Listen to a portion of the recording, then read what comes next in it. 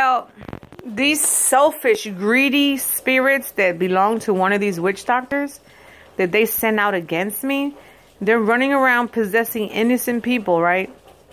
And I'm looking at it and I said to myself, God, what in the world is this spiritual realm doing?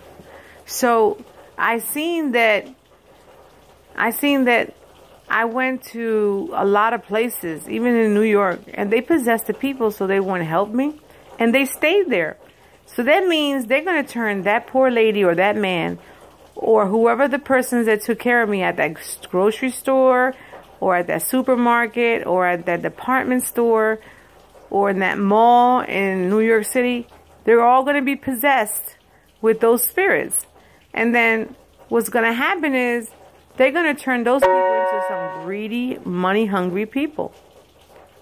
And that is some messed up shit. You're corrupting the world doing witchcraft to people.